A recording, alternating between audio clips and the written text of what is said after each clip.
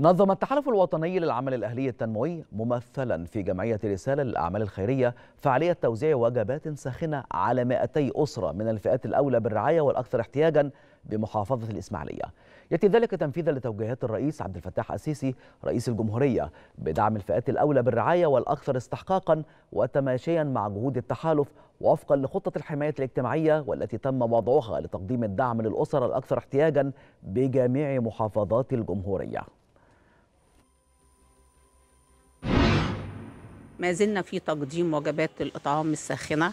كل أسبوع بنقدم هذه الوجبات للأسر المحتاجة في محافظة الإسماعيلية بالتضامن مع كتف بكتف الجمعيات الأهلية ووزارة التضامن الاجتماعي. النهارده هنعمل وجبات وهنوزعها على الأسر في محافظة الإسماعيلية في منازلهم أنا فخورة النهارده إن أنا بشارك في عمل زي ده.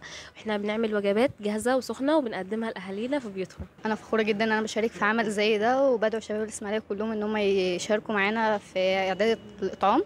اللي بننزل نوزعه على اهالينا في بيوتهم في محافظة الإسماعيلية.